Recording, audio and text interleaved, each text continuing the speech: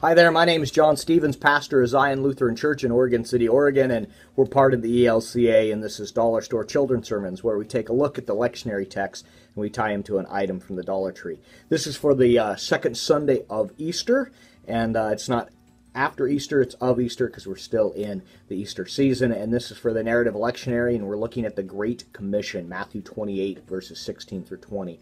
And the idea that I'm uh, looking at for the children's sermon is we're following Easter, and uh, we've got the, the death on Good Friday and the resurrection of Jesus, and about how that in, that event, the the resurrection of Jesus Christ, brings us everyone brings the world into God's story. That that in the resurrection, God has claimed us all as children and uh, new life is uh, cracked open and we have that experience. And so the item I'm using is um, uh, either uh, the, a doctor playset or cooking fun. Either one. I like to cook. I like to cook a lot more than I like to go to the doctor. However, they're both great. You could use either one. And the idea that in these sets, um, I get to um, I get to act out um, either being a doctor. Uh, you might give this to one of the girls in the area, eh, or um, uh, um, or I get to act out being a chef or a cook.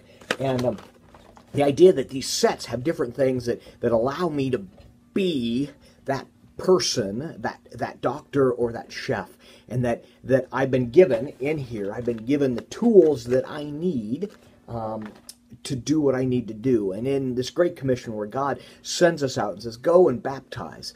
Go, go and tell the good news. Go and um, and tell of the resurrection. Um, this, this I, I command you. I commission you to do this. That in that, when we are commissioned, that's a big word. Uh, when we're commissioned, we are sent with the tools that we need, and um, that we are sent. God knows who we are and knows what He has given us, what God has given us, and um, God says to us, um, I, "I send you out."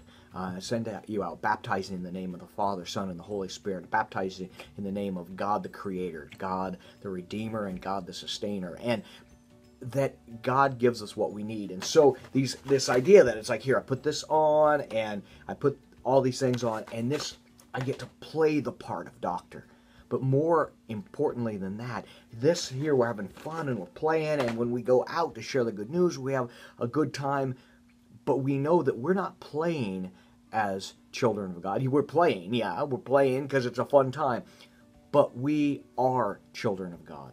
That in our play and in our telling one another about this great story, this uh, and we baptize in the name of of the Father, the Son, and the Holy Spirit, as it says in the text, or as we know, God the Creator, that um, we are uh, God trusts us, and that's an amazing thing to be part of this whole story that God brings us in and then sends us out. So, this is uh, using the play set and uh, either cooking fun or uh, or the doctor's play set. Um, there were other play sets, but these uh, these were the uh, non-violent ones. So these are the ones way I, where I went, and um, so uh, I hope you can use that as a springboard into your children's sermon.